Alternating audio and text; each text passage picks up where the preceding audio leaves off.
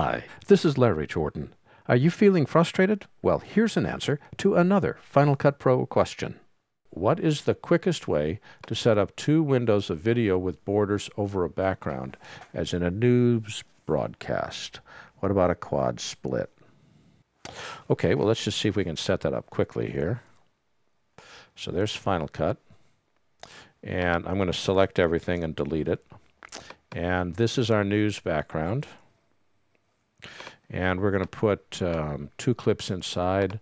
We'll take our dancing girl here and drop that in.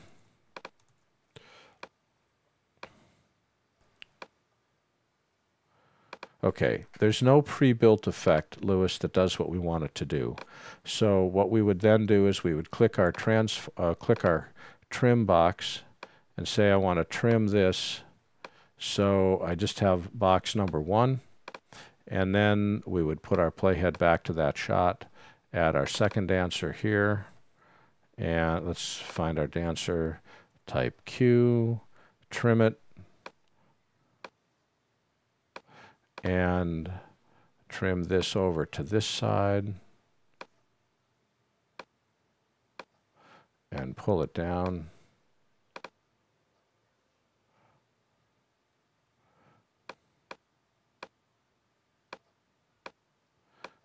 That's awkward that we can't get rid of that that little box thing there.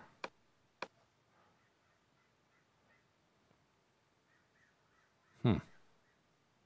Makes it trickier. There we go. And we now have created that, but we'd have to do it on a case-by-case -case basis of uh, doing each clip.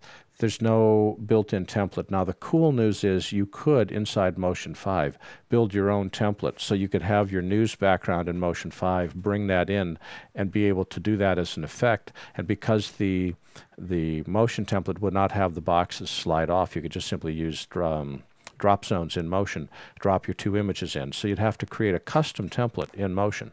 But you could create the custom template in motion, which makes this as easy as drop in shot one, drop in shot two. It's framed and the background is already added. So can we do it manually? Yes. I would uh, do it in Motion 5 as a template.